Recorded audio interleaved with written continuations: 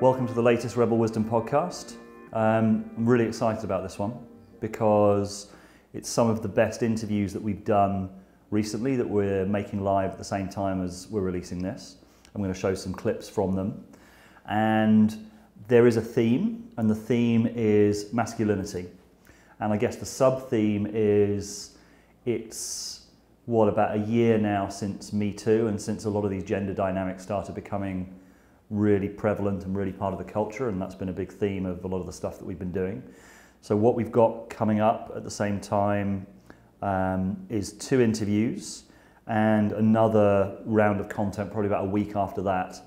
So, we have an interview with Cassie Jaye, who directed the Red Pill film, and we've got an interview with Warren Farrell, who is often called the father of the men's movement, but I think our experience when we met him in America and interviewed him is that he's got a lot more to offer than that sort of characterization. He's a therapist, he does couples counseling, he's deeply interested in how to create healthy relationships.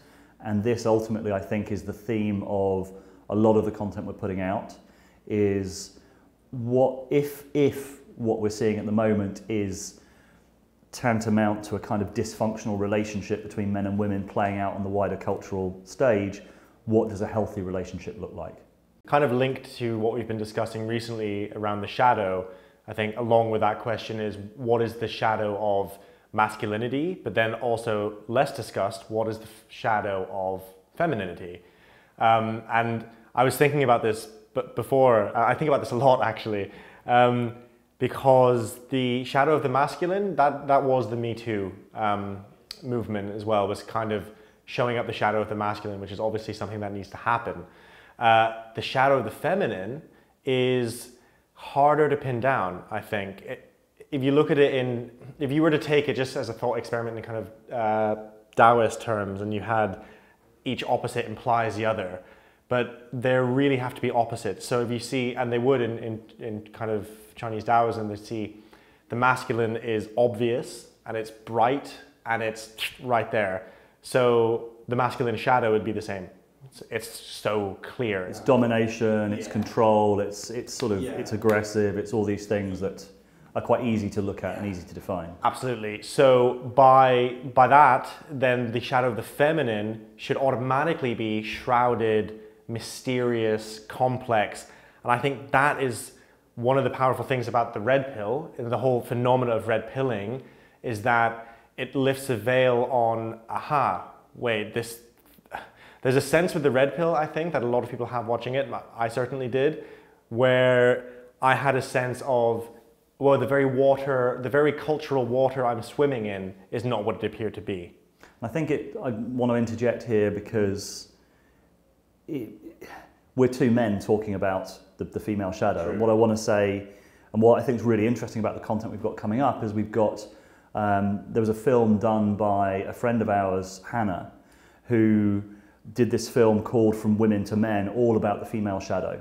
And we've got a long interview with her and a long interview with a couple of the other women who appeared in that film about the female shadow and about their ownership of, of the ways they've acted out. And I think what's interesting as well now is that there is a cultural, as I said, we're about a year after Me Too, and I think the cultural conversation is now at this point of recognizing we had Me Too, this kind of essential voicing of a lot of suppressed anger, a lot of suppress, a lot of boundary setting by women saying, no, this is not acceptable behavior.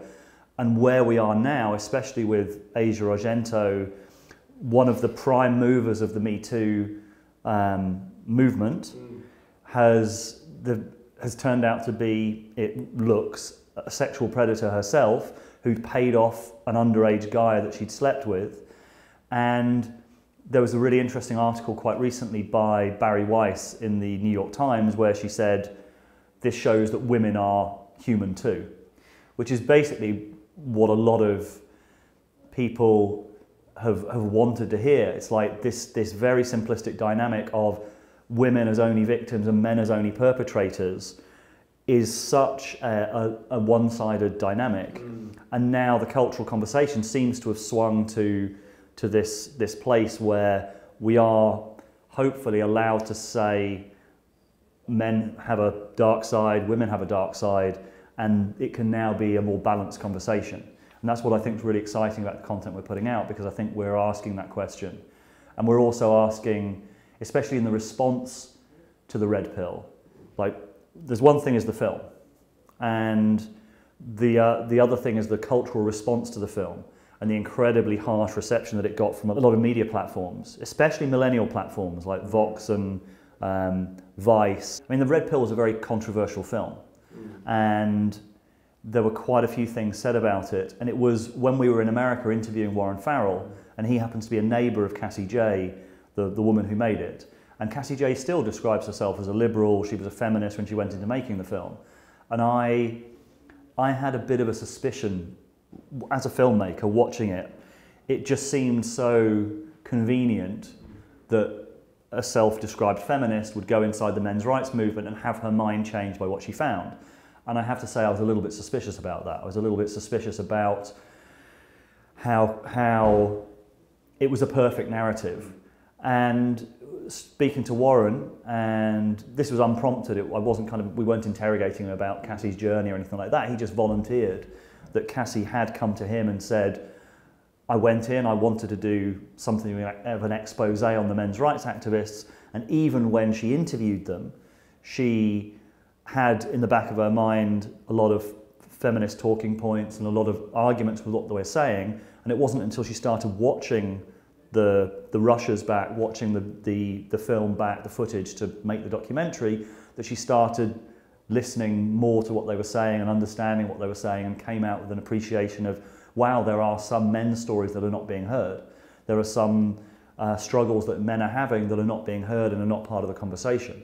And so she, like I, I, I have pretty much 100% um, certainty that her journey was genuine. Mm. And this was a subtext of an awful lot of the, the coverage, the, the, the, the sort of negative coverage of the red pill was people saying, well, it was just insinuating that it wasn't genuine, that it was somehow it was funded by men's rights activists and it was a it was a Trojan horse done by men's rights activists. And I, I don't believe that. I think it was a genuine film. I think it was a genuine journey. And the irony is, under a different, in a different circumstance, she might be looked on as a, as a real feminist hero. She's a very successful documentary filmmaker, uh, I think with a lot of bravery as well. She, she talks about she did actually lose some, some friends when she made the film and she, I saw recently she's even been outed or by the, poverty, the Southern Poverty Law Center, which is a kind of anti-extremist organization in America, which seems to be an extremist organisation itself. It, it had to backtrack. It, it outed Maajid Nawaz recently mm. as an extremist, and he is an anti-extremist former Islamist. That's really fascinating. What can be said in the culture and what can't be said in the culture, and the fact that a documentary like The Red Pill, which along, along with the men's rights activists in it, also had a lot of feminist um, scholars in it as well. And you don't have to kind of agree with everything that the men's rights activists are saying in it, um, but in terms of a film that adds an interesting perspective, I think it's definitely it definitely is that that film, which is why it was really interesting to talk to Cassie. Just to back to your point about what you said, I found that really interesting. In a different setting, she might be hailed as a feminist hero.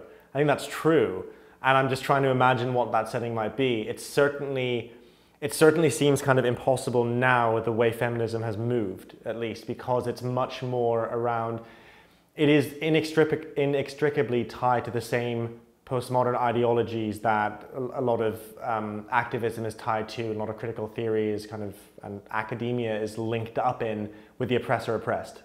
Again, a name that just came up while you were talking, um, another very successful woman, Claire Lehmann, who created the magazine Quillette, out of her kitchen, and it's now one of the sort of most, the biggest media success stories of the last couple of years.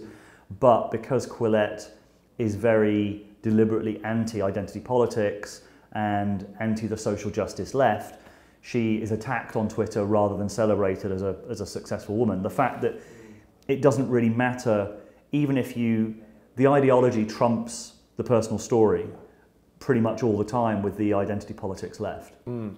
Yeah, it does, and it's it's also it's an impossible bind, and it's also an interesting. It's, a, it, it's an interesting indication. The reaction to Claire Lehmann and Cassie Jaye, it, for me, really points to this weirdness that we live in, where the the identity politics left, in particular, has kind of the reins of um, what's culturally acceptable and a, and a, lot of pop culture power and a lot of um, media power.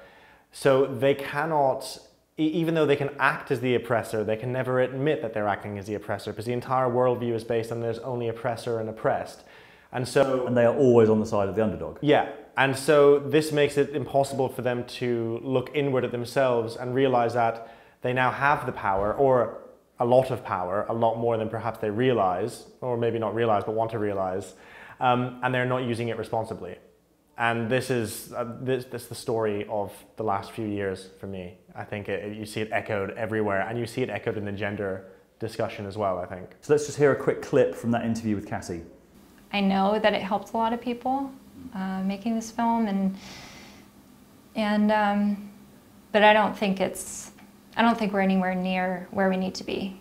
And I, I think the Red Pill movie was just a very early kind of icebreaker into these conversations. But I think we have a long way to go with gender relations and, um, and hopefully eventually finding a healthier relationship between the genders.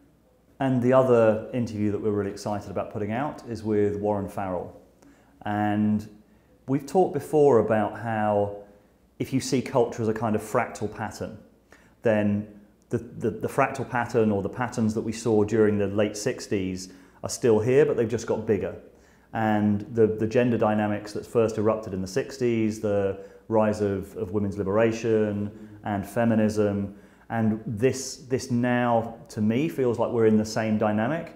But we look back and we kind of look through the wrong end of the telescope and we assume that everyone back in the 60s was part of this movement, but the fact that, it, that we know about it shows that it wasn't universal. It was, um, it was an outlier, it was a new thing, it was, it, we were always attuned to the new. And what's interesting about Warren Farrell is that he has been living this dynamic, this same dynamic since the 60s. Uh, he's a fascinating individual story because he was one of the very first male feminists. He was part of the, he was on the board of the National Organization for Women in America. And he, he then at the same time started leading men's groups. And in the men's groups, he was hearing stories that he realized were not part of the conversation. And when he started bringing the experience of the way that men have been hurt and the way that men feel that they have to perform certain gender roles and that they are seen as success, he, he uses the, the words, for example, that yes, women, women are often objectified and seen as sex objects and judged by their looks. Men feel that they're often judged by success, he calls success objects. Mm. They're judged by their ability to provide, they're judged by um, their wealth, they're judged by their status. And there was this beautiful moment. I, I, I really, I know that we both really enjoyed meeting him and spending time with him. There's this really beautiful moment towards the end of the interview where he said, Men have makeup too. Male makeup is I am Dr. Warren Farrell, best-selling author of The Boy Crisis. Um, and uh, what's my makeup? I'm doctor, best-selling, author, um, that's all makeup. It's me being afraid of saying, I'm also Warren Farrell, vulnerable human being in these five or six ways. Considering he's often framed as the father of the men's movement, and the men's movement, especially in America, has a really bad um, reputation, and, and perhaps quite rightly. I mean, I asked him that in the interview whether he agreed that some of the bad press that the men's movement had was deserved, and he agreed that it was. Mm. And I think certainly a lot of the tactics that I see from some of the more extreme men's rights activists in America, I can see why they have a bad reputation and it's not, I don't think it's doing their, their cause any good. They, they kind of turn into the thing that they're supposedly fighting against. But as I said at the beginning, Warren Farrell is someone who's very much focused on what do healthy relationships look like? What are the things that need to be expressed from men and from women so that we can have healthy relationships. And if we have a culture where men are, on one hand, encouraged to express their feelings, but also, on the other hand, often the culture will describe it as whining. When men do express their feelings, there's a kind of double bind, and a lot of men feel stuck in that at the moment. Yeah, what really struck me about Warren Farrell, aside from him as an individual who I found um, very authentic, uh, is his, his focus in, in The Myth of Male Power, his first kind of best selling book. It's very nuanced and it's really a balanced perspective of going into the economics and that also dictated the relationship structures we had for a very long time and pointing out that it's not as simple as just saying, men were patriarchs and they held women down and just you know because they're dysfunctional in some way. Uh, it was it was a lot more complex than that, and yes, some of that went on, of course, but it was also a case of men had to go out and be the breadwinners. Men were expendable as well, um, and then we shifted in the 60s and maybe slightly before to different kind of relationship for the first time ever happening. So this is all very new. The dynamics we're experiencing are really fresh. Like yeah, and so and now we, he said in the interview a really nice thing, which was around like we're not designed to be functional. We're designed in terms of like relationships, how we relate to each other as men and women. It's like we're designed to be dysfunctional. We're designed to survive, basically, is what he says. And that, you know, so we have. He says we have an opportunity now, where we have a lot more equality to figure out how do we, how the hell do we get on with each other in a in a in a way that is conducive to our health and our children's health as well. And I found that was the overriding message I got from him. I think is in his work as well. Is it's really about. I find that a really useful framing that globally, and I think we might have talked about this before. What we're seeing is the result of an incredibly dysfunctional relationship.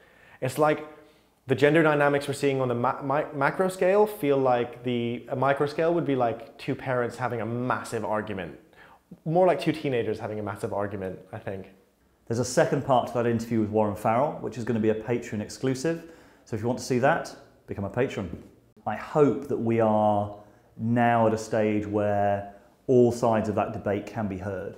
Because the eruption of Me Too, which was October last year, it, it was said quite explicitly at times men now is, now is not your time to speak. And I can understand that because these are a lot of the time were voices that haven't been heard for a long time, and but that it cannot remain that cannot remain as a dynamic. By definition, a relationship has to be both sides speaking. Um, and, and I think a healthy relationship is where both sides are allowed to speak. And I think a healthy cultural dynamic is when something like the red pill is made it is not immediately shut down. It is not immediately criticised as, as I think Vice called it, you, men's, a men's rights bullshit documentary. Another thing just came up for me that, that he said, um, relating to the, the, the, kind of that, I guess, necessary outburst that happens after uh, Me Too was, you know, because he's a therapist, he said, obviously the longer someone's held something in, the more it comes, the more anger is behind it when it finally comes out. And that I think was that was very evident there, and that makes sense. Um, and I wonder now, I see that anger as well in the men's rights movement as well, and I understand why it's there too. I do. But the what the next stage looks like for me is a kind of a meeting where the anger has extinguished itself somewhat, and maybe we're getting to that point but where the conversation comes, it's a conversation about responsibility, I think, ultimately. It's a conversation on both sides around um, what does it mean to be responsible for yourself and your actions as a human being, whether you're a man or a woman. That's what you do in couple, you know, in couples counseling. You talk from the I. You talk about yourself. You talk about you don't, you know. Actually, again, Warren made a really good point where he said having a dynamic like um, feminism has at the moment, where everything is men's fault. I'm, I'm being broad with feminism. I'm talking about maybe the, the worst sides of it, where everything is men's fault. He equates it to a man going to a psychiatrist and sitting down and being like, right, okay, well, I'm here, but what you need to know is that everything is my wife's fault. The reason I'm feeling like is because of her, and I've listed out 14 points around where she's a total fuck up, and I'm going to list them out to you, and you better agree with me, otherwise I'm going to stop paying you as a therapist. It's like kind of similar impossible dynamic where nothing can happen. That I still feel is what we're kind of largely in. And that's why people aren't allowed to talk at universities. That's why Cassie is still, as of like today, getting slammed in the press and why there's just a lot of mischaracterization all around the place. Um, and I think something has to give, some kind of humility or humanity has to give Um, in order for that conversation to start happening, and on that point, it might be a good time to talk about uh, Hannah's film. Yeah, so this is one of the most interesting, and it's a sort of experimental thing that we've done. Hannah produced this film, which has gone pretty viral on online, called From Women to Men. I am a woman who has been hurt by men. I'm a woman who has hurt men. Who has hurt men. And she's a, she's a conflict negotiator. That's what she did for many years in some of the world's sort of most intractable conflicts. And the thing that she realized is that we cannot move forward until we own our part of whatever dynamic. We can't move forward in any, in any conflict until we own our side and we own the stuff that we've done. Um, and she then went through a process of sending this poem out to many other women and they then came together to make the film and a lot of them would then choose the bits of the poem that really spoke to them, the things that they'd done in the past. And a lot of them said they went through a real process through doing it as well. So it's a really controversial piece. It's, it's had really polarized reaction online, but it's had about a million views altogether. Mm. And I've seen a lot of, especially men from some of the, the men's groups that I've seen online, very touched by it. A lot of people said it brought them to tears. I dream of a time when we all take responsibility for the part each of us plays in this battle. When we can truly empower ourselves by owning our part of the mess. And bring an end to the cycle of hurting and blaming. I begin today. I begin today. I begin today. I begin today. So we've got a couple of films off the back of that. One of which is an interview with Hannah and a couple of the other women who appeared in the film, asking why why they got involved in the project in the first place, what they got from it, and what the reaction was, whether they have any regrets. And another film which is slightly more experimental, which is and as Hannah said in her in her film, what she wanted was to start a new kind of conversation between women women and men. And so we try and model that with Hannah, her friend Elan, who appears in the film, myself, and Rafia, who is a, a facilitator, a therapist who's been working for about 40 years with these, these issues, the male and the female. So basically, this is an attempt to model this kind of conversation. What does a healthy conversation between men and women look like? Which involves us taking ownership of our stuff and then meeting from a place of real ownership and real communication. And we'll see if that works. yeah, well, hopefully it kind of has to work. I think at some point globally, that kind of conversation has to be the norm. And in fact, again, to bring it back to Warren Farrell, because it was a long interview and he said lots of interesting things, they're doing it in uh, Denmark. They're, having, they're teaching children these types of conversation. And that seems a natural thing, is that this is a skill that people need to have, um, is to be able to, and I think personal responsibility is the, the, the beginning of it. And I think what's really um, powerful about Hannah's film, or just powerful about just the idea of that kind of conversation, is that it starts with personal responsibility. And that's where, that seems to be what the culture is crying out for at the moment, is this kind of a reconnection to personal responsibility and a movement away from everything's about being oppressed or being an oppressor, and either being a victim or a perpetrator. Um, it's the, yeah, it, it seems to me like it, that conversation can't really happen within that the environment within an environment based on oppressor oppressed. I think that just has to go. Like the, the broken green we've called it it ha- it's not a place for that conversation to happen. That conversation needs to happen in some kind of new less ideological or post ideological space which hopefully is rising up somewhere or in the ether somewhere at the moment yeah, and I also want to say about Hannah's film that I've had very different reactions to it at different times. When I first heard it, when she delivered it as a poem in a therapeutic training, I was really touched and it was, it, it was a really powerful ownership. And then when I've seen it since, and I've seen the film, sometimes I've watched it and I've just thought, wow, this is just, it's so countercultural, it almost feels too much. Mm-hmm. Because on its own, it does feel unbalanced. It's like, well, okay, but, uh, but that's kind of the point, is that it's almost like a little bomb in that mm-hmm. inside that ideology because it's so anti the narrative that we live with all the time mm. for women to pretty much just own their their stuff without any kind of context or balancing of men owning their stuff at the same time. So it feels in on its own it feels slightly unbalanced. But I guess that's that's the essence of great art in a way. Great art is not meant to make you feel comfortable. It's most supposed to make you feel uncomfortable. Mm. And even I have felt uncomfortable watching that film every now and again. Mm. And yeah, I, I hope that in the recording that we've put together with Rafia, there's a certain balance in terms of us owning our stuff and then building more of a complete conversation around it as well. As you're as you're describing that, that I, I know that feeling. I call it like um, vicarious discomfort.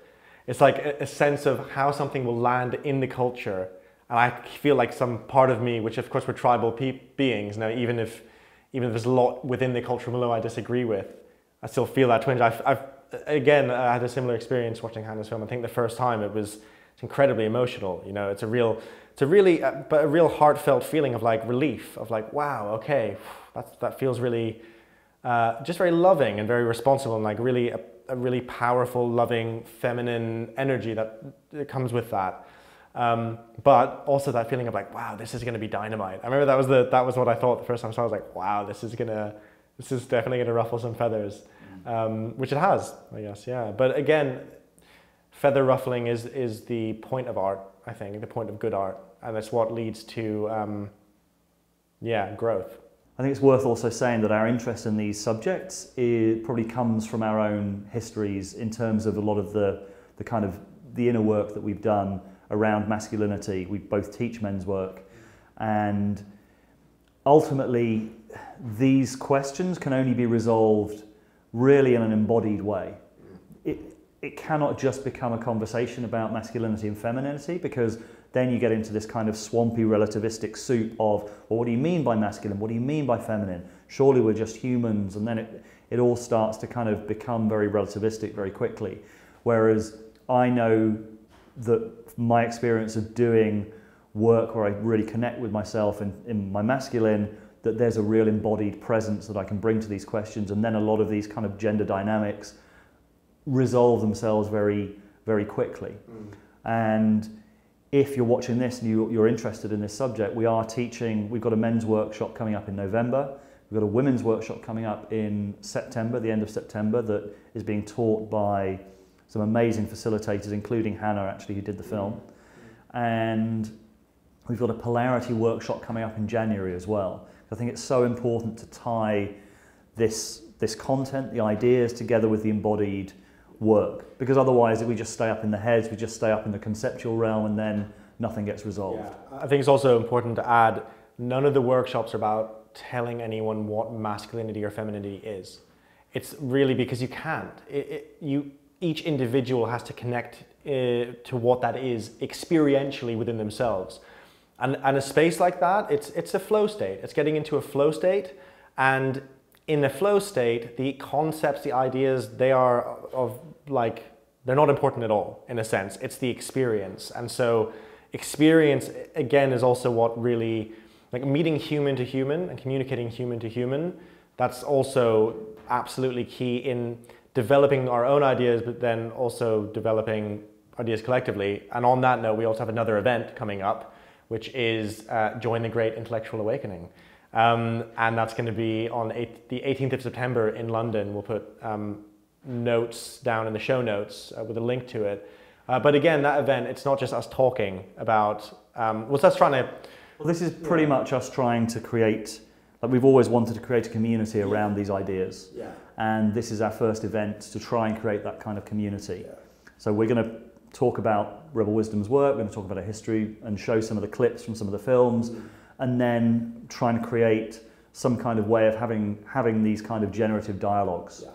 which we've talked about before. What does it mean to have a dialogue where you go in genuinely trying from a place of not knowing and inquiring and and finding the answers for yourselves mm. rather than this kind of very ideological way of trying to kind of persuade someone that you're right. Yeah, or what Jordan Greenhall would talk about is like the old broadcast model, where some, you know, we uh, culture will be broadcast to you and ideas will be broadcast to you. And we live in a different paradigm now, which is the more uh, decentralized kind of knowledge sharing. Uh, 18th of September, if you're in London, come along to the Great Intellectual Awakening. And one other thing, we've got, we've recently put up a few pieces on Patreon for patrons only. We've got a, an, another amazing piece with Tim Lott, who we had an interview with recently, talking about the links between Jordan Peterson and Alan Watts. Um, Jordan Peterson has often been described as doing for Western philosophy and Western um, spirituality what Alan Watts did for Eastern spirituality back in the 50s and 60s. And there's really interesting parallels between the two and really interesting differences between the two as well. And Tim Lott, who was the first guy to write a profile of Jordan Peterson for the Spectator magazine in um, yeah, last year, also is an expert on Alan Watts. So we had a really interesting dialogue with Tim, and that's we're going to put that live on Patreon in the next few days. So if you're interested in that, or you want to see the second part of the Warren Farrell interview, then become a patron. Thanks for watching, and see you next time.